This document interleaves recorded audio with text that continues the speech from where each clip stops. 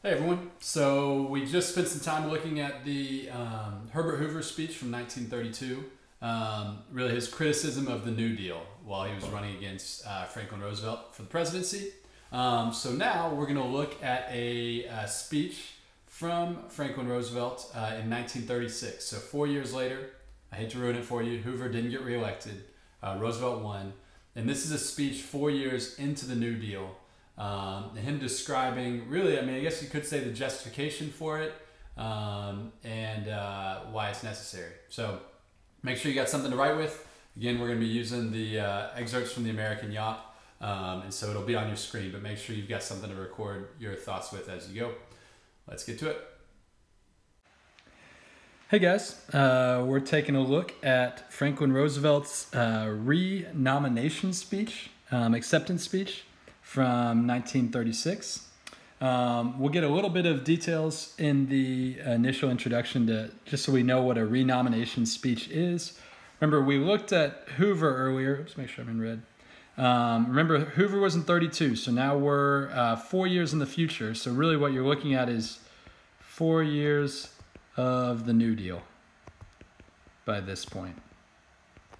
Or four years of FDR's administration. He's now been president for four years. Okay. So, Franklin Roosevelt's renomination speech, 1936. In July 27, 1936, President Franklin Roosevelt accepted his renomination as the Democratic Party's presidential choice. In his acceptance speech, Roosevelt laid out his understandings of what freedom and tyranny meant in an industrial society. Um, so, a couple things. So he's not he's not been reelected yet, but the Democrats have renominated him to uh, to run for president. That shouldn't be surprising because he already is president, and that always happens. But um, it is important to note that FDR ends up getting nominated four times. Um, uh, so this is two of four. We'll say that. Um, and so he's talking about what freedom and tyranny means. You know, we use these words all the time. What is freedom? What is tyranny? Um, and what Roosevelt's specifically looking at is uh, in an industrial democracy. So maybe you'd say like another way to say that would be in a modern democracy. What does freedom and tyranny actually mean? All right, so here we go. These are his words starting now. Philadelphia is a good city in which to write American history. This is fitting ground on which to reaffirm the faith of our fathers, to pledge ourselves to restore to the people a wider freedom, to give to 1936 as the founders gave to 1776, an American way of life. So you guys know this. This is when we declared our independence.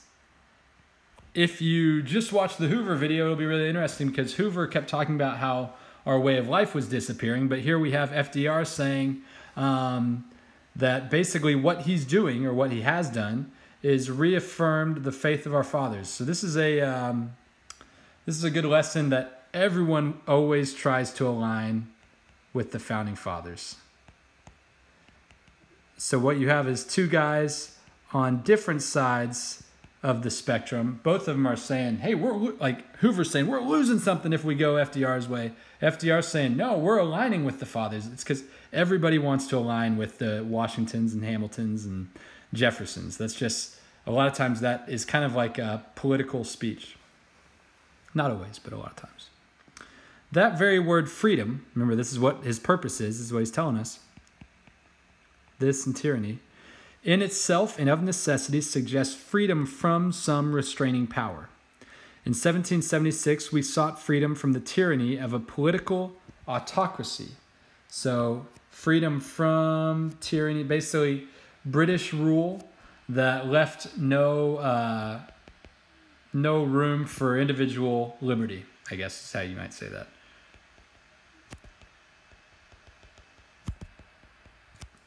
From the 18th century royalists who held special privileges from the crown. It was to perpetuate their privilege that they governed without the consent of the governed. Really, that's what democracy is, um, is that the people have a voice. Anytime you see that phrase, people have a voice. So that's what the revolution was about, was that people needed a voice in how they were governed that they denied the right of free assembly and free speech, and that they restricted the worship of God. This is kind of an interesting thing. We're not going to get into it, but there is a an interesting take on um, on this that we could talk about, where the British uh, policy on religion contributed to uh, the revolution. Um, that's a whole different thing, but it is interesting that FDR brings it up here. That they put the average man's property and the average, lives, average man's life in pawn to the mercenaries of dynastic power, and that they regimented the people. Basically, what you're seeing here is there is no freedom. You know, there's no freedom of assembly, or at least uh, in before the revolution. No, uh, no freedom of assembly, no freedom of religion, no freedom of speech. Uh, your property wasn't even free. You, uh, you were pawns to the mercenaries of dynastic power. If you, if you think about the Bill of Rights and those first 10 amendments that get added to the Constitution, most of them address these things that FDR is talking about here. So that's a, that's a take on the revolution. Remember, this is all about uh, the legacy of the founding fathers. What does it mean to be American? Well, he's given us this paragraph to be like, hey, this is why people initially rebelled. And so it was to win freedom from the tyranny of political autocracy that the American Revolution was fought. The victory, uh, the victory gave the business of governing into the hands of the average man, who won the right with his neighbors to make and order his own destiny through his own government. Political tyranny was wiped out at July uh, Philadelphia on July 4, 1776. Those are strong words. There is no more tyranny, or it was destroyed.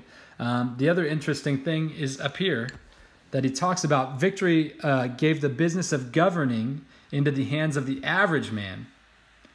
So uh, the uh, average American now has a say in how um, the government functions and that tyranny is wiped out. Really, you're saying this is where almost like freedom for the individual is established. I guess you could say it that way.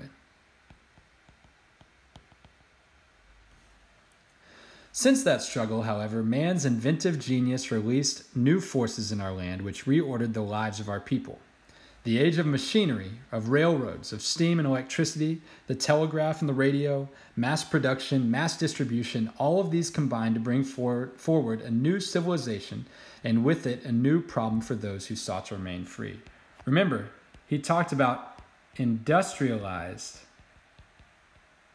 democracy, right? Like we've entered a new phase because the the world technologically that the founders lived in is different from the one that FDR is inhabiting in the 1930s. For out of this modern civilization, economic royalists carved new dynasties. So what he's doing here is he's tying. So hopefully you can read my um, handwriting. Business, uh, not businessmen necessarily, but like. Uh, business moguls back to British royalists. So maybe you think about like the Carnegies and the Rockefellers and all these uh, businessmen, the J.P. Morgans who'd gotten uh, famous um, and powerful through uh, private business. Um, what he's saying is they're kind of like the British royalists that had a say that didn't let the average man have a say in government. They carved new dynasties. New kingdoms were built upon concentration of control over material things. Kingdoms. Look at this. Think Britain. He's trying to make that connection that the founders rebelled against uh, royalists and kings. And what are we talking about here? The average man up against kingdoms and royalists. But in this case, it's uh, business moguls, businessmen, big business. Through new use of corporations, banks, and securities, new machinery of industry and agriculture, of labor and capital, all undreamed of by the fathers, the whole structure of modern life was impressed into this royal service. Royal service. This is really interesting. Hope you guys are catching that. There was no place among this royalty for our many thousands of small businessmen and merchants who sought to make a worthy use of the American system of initiative and profit. Initiative, remember Hoover talked about that too. They were no more free than the worker or the farmer. Even honest and progressive minded men of wealth, aware of their obligation to their generation, could never know just where they fitted into this dynastic scheme of things. So when you see dynastic, what he's talking about, like um, wealth that persists. So, what we're talking about, in the same way you would have talked about in England, if you talked about um, the the political power that just stayed with the king or stayed with parliament, really what FDR is talking about is is wealth that does the same thing. You know that um, that business accumulates this wealth, um, and the average man doesn't know how to fit into it, even the small smaller businessman. All right. It was natural and perhaps human that the privileged princes of the princes of these new economic dynasties, thirsting for power, reached out for control over government itself. They created a new despotism and wrapped it in the robes of legal sanction. So basically, business power seized political power. Could say, how'd they do that? Well, that would be like maybe it's through lobbying, which is like giving money to elected officials. It could be through getting elected themselves. You know, there are a variety of ways that that happens, but basically what he's saying is all these people that made big, big money in business then reached out and took control of the government. And they created new despotism and wrapped it in the robes of legal sanction. They made it look nice and pretty. Remember, this is FDR's words. In its service, new mercenaries sought to regiment the people, their labor, and their property. Essentially, this is like, you know, going back to the revolution. And now all of a sudden the people are regimented or ordered around by the government, by business, um, and they're no longer free in the way that we understood it back uh, with the revolution. And as a result, the average man once more confronts the problem that faced the Minutemen. So what he did is he just took us on a really roundabout uh, route to say um, modern Remember, this is 1936. Average man is like the Minuteman from the Revolution. An old English judge once said, Necessitous men are not free men. Liberty requires opportunity to make a living, a living decent according to the standard of the time, a living in which man not only gives man not only enough to live by, but something to live for. So this is what's necessary for free, free men, and to be a free man is that you have something to live for, not just what to live by. That's FDR is kind of using that as his definition of what it means to be free. For too many of us, the political equality we once had was meaningless in the face of economic inequality. A small group had concentrated into their hands an almost complete control over other people's property, other people's money, other people's labor, and other people's lives. For too many of us, life was no longer free, liberty no longer real, men could no longer follow the pursuit of happiness. Remember, that's a callback to the Declaration of Independence, too. Against economic tyranny such as this, the American citizen could appeal only to the organized power of government. The collapse of 1929 showed up the despotism for what it was. The election of 1932 was the people's mandate to end it. What, what's that mean to say the people's mandate? Almost like saying the people's order. So, by him getting elected, the people said we need to end this uh, economic despotism or political despotism, whatever.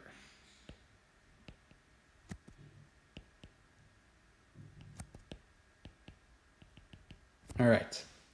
We're winding it up here. Today, we stand committed to the proposition that freedom is no half and half affair. If the average citizen is guaranteed equal opportunity in the polling place, he must have equal opportunity in the marketplace. So he's saying equality is not just uh, political, but economic.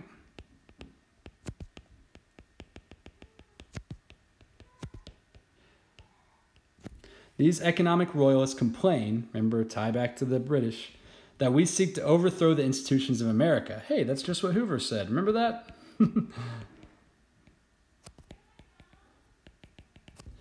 what they really complain of is that we seek to take away their power. Our allegiance to American institution requires the overthrow of this kind of power. In vain, they seek to hide behind the flag and the Constitution. In their blindness, they forget what the flag and Constitution stand for. Now, as always, they stand for democracy, not tyranny for freedom, not subjection, and against a dictatorship by mob rule and the overprivileged alike. Governments can err, presidents do make mistakes, but the immortal Dante tells us that divine justice weighs the sins of the cold blooded and the same sins of the warm hearted in different scales. That's really interesting. Basically, what's the difference between warm hearted and cold blooded? Is warm hearted has good intentions. So essentially, this feels like we might make mistakes, mistakes, but we're doing it for good reasons. Better the occasional faults of a government that lives in a spirit of charity than the consistent omission of a government frozen Look at the connection there cold blooded, um, frozen in the ice of its own indifference. There is a mysterious cycle in human events. To some generations, much is given, of other generations, much is expected. The gener- this generation of Americans has a rendezvous with destiny. It's really interesting when you look at Great Depression, World War II. this is kind of a prescient uh, thing. Um, and I think it is it does kind of tie a little bit together with Hoover that there are going to be demands on this generation. Okay. So let's sum it up. We'll go out here and say, um, to put it in brief terms, um, equality can't just be political it needs to be economic too. And then average man in 1936 is stuck under a political and economic power much like Minutemen in 1776, and radical change was necessary in the face of modern developments. All right. Thanks for sticking with me, guys.